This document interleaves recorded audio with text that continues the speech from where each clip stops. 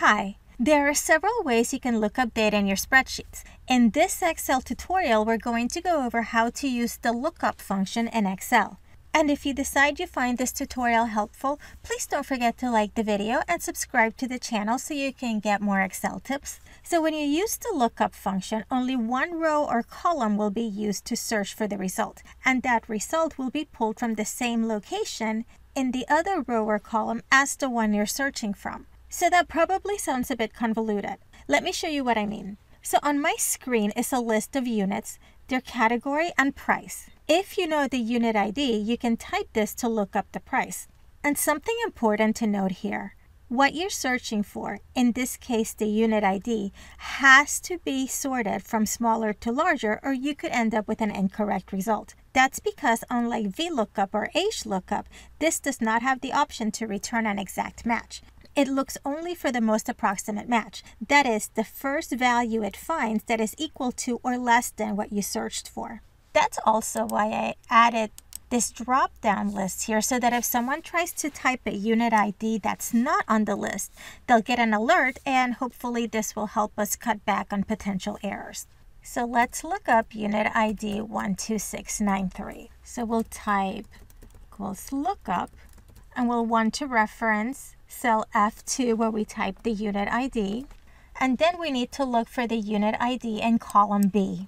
And the price will be pulled from column C. Now you could highlight both of these and the lookup formula will default to looking in the rightmost column. But I like to play it safe. So I'm going to select column B as my lookup vector and then I'm going to specify that I want the result from column C and then we close our parentheses and it returns $22. So to show you why it's important to have the list sorted from smaller to larger, and in an example like this one, searching for only a value we know is on the list, let's say that there is no unit 12693. Notice how our result is updated to $14, which is the price of the unit just above it, 12692. This happened because Excel looked for the first value that was less than or equal to 12693.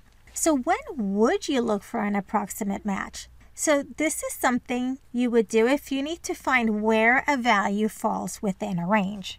So let's say you need to find a grade based on a score. Now we know that there's a range of points within each letter grade, where 90 or higher is an A, 80 or higher is a B, and so on. So let's say the score is 83. We can use the lookup function to see what grade this would be. So our lookup value will be E2, the cell that we typed our score in. Column A is where we'll look for this value, and column B is where we want to pull the result from.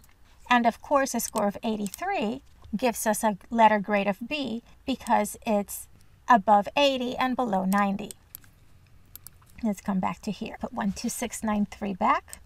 Another thing that differentiates lookup from its relatives VLOOKUP and HLOOKUP is that it can look for its result in a row or column that is not necessarily to the right of or below it in the case of HLOOKUP. So let's say we want to look up the category for our unit 12693, right, category here.